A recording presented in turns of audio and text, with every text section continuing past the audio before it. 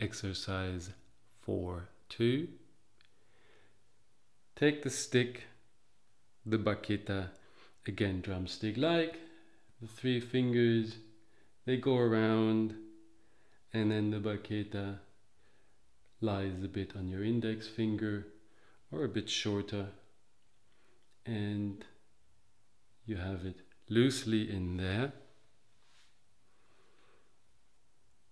You can do with your index finger, you can play also with your thumb. And now try the rebouncy effect, the rebouncy hit with this one.